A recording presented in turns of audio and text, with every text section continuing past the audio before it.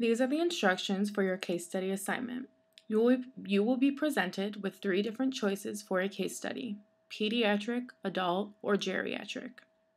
You will only need to complete one of the case study options for the requirements of this course, but feel free to look over the others if you wish, and you can complete those if you would like.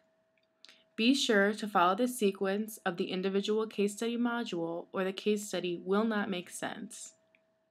We have provided an example of a case study to create goals that meet GAS standards. We will walk you through this case, create the goal and the intervention goals, and explain why the goal is appropriate for the goal attainment scaling. The next section of the module will allow you to do this on your own with a different case study. The purpose of this case study is to allow you to apply what you have learned about goal attainment scaling to certain populations. This set of instructions will also be available inside your module. Enjoy!